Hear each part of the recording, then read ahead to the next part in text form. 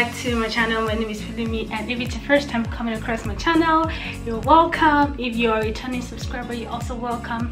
Thank you for keep coming back. Um, do subscribe do like the video share the video. I've, I've been having really amazing DIYs this past month and I'm really really enjoying it. I hope you are as well. If you are leave a comment. This this always happens. I always lose my words but leave a comment in the comment section. Let me know what you've been enjoying so far. Um, give me ideas of what you would like to see on this channel. I share sewing and craft tutorials and that's about it. And today's another craft tutorial.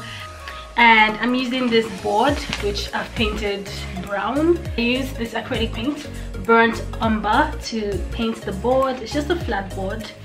Um, and i'm going to be using this today so what i'm thinking now is just to like a letter a letter p that's my name with the flowers. So i'm gonna arrange the flowers that i've created. I'm gonna show you how i made the flowers. The materials we're using are thread and needle. You need your glue gun and your glue stick and um, scissors maybe and that's about it.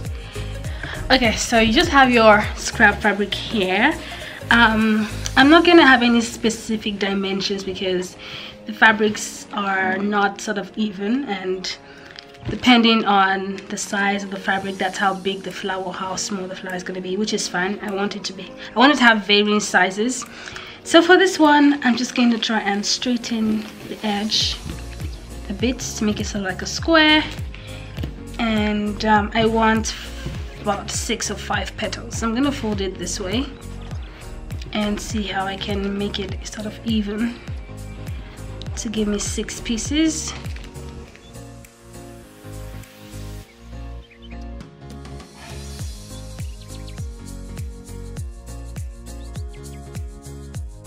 And so to start off I'm just going to take one of these and sort of fold it into a triangle. Okay so to start off I'm going to fold my triangle and start sewing from the right side just to run in stitch close to the edge nothing too serious or even or whatever. Pull that. And then sew along the second edge. So you're sewing in a V pattern. And then once you're done sewing that you're just gonna gather it together and pull. Can you see it's formed one petal formed one petal so you just pull that. And for the first one you can decide to go ahead and um, make it tighter. Uh, just go in between the layers again to tighten it up.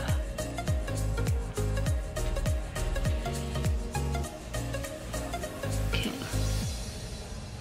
Cool. So the second petal is gonna, you're gonna do it the same way. Fold it in half in a triangle form triangular shape. You can cut off the excess and create more scrap fabric.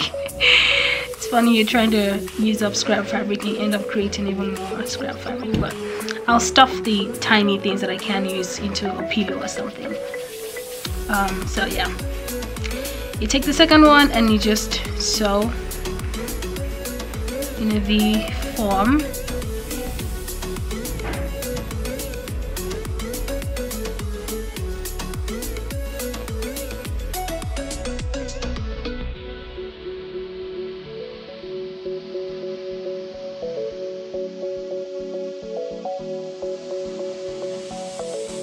flower.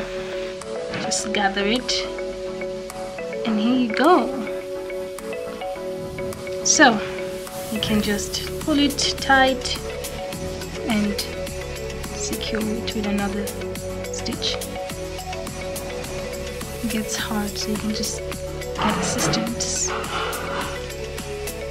Okay now so I rolled up a fabric like so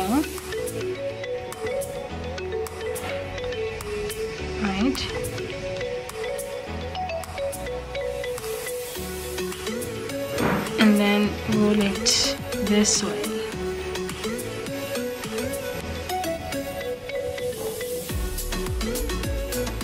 Now I'm gonna add the glue to just close this off but I'm waiting for the glue. Oh my gosh, my nails are crusty. I hope you don't mind. Jeez.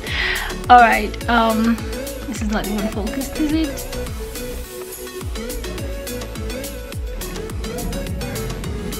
Okay I'm just waiting for my glue gun to heat up. And then I will glue this part together like so. And I'm just gonna add glue on top here and use it to um, place it in the middle just to seal up that opening in the middle just to make it neat look neat. Okay so to make the small rosettes I'm going to use this satin fabric. And then fold it in half wrong side together. And then just sew a running stitch all through the length of the fabric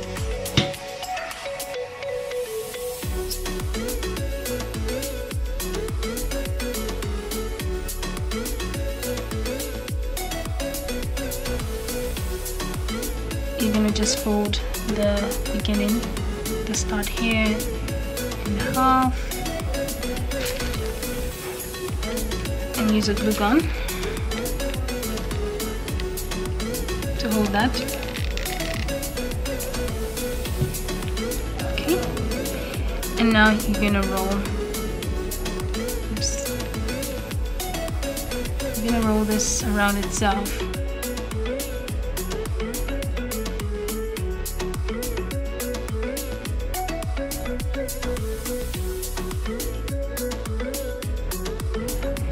and then when you get to the bottom you can just fold this in like so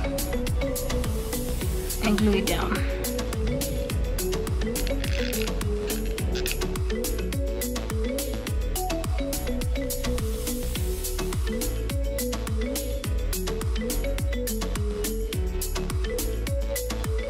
Just look at it. Oh I love it. Ooh, it's so nice. I don't I really don't know how I'm gonna arrange it to make it all look really nice but I'm getting there. Okay so so far I've made three more of the um, satin flowers and they all turned out different. Uh, which is fine so I'm gonna make more and I think I want to add like black because I have black satin as well. And so the Ankara ones are just like accent colors. Um, and yeah so it's not just like all like too much color going on. So that's what I'm gonna do oh guys I I'm done making the flowers. Well I think so but I feel like I want to fill in some gaps with smaller flowers. But I haven't glued it on. I just like arranged it and played around with how I wanted things to be.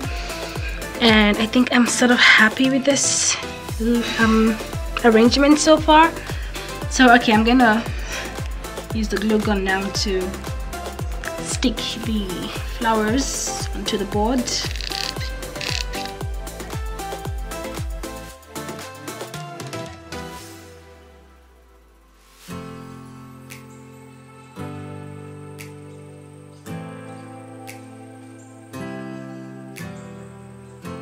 but this is what I, ended up with. A letter P uh, this is it. This is my monogram my fabric flower monogram letter. I hope this gives you an idea to make something similar and even better.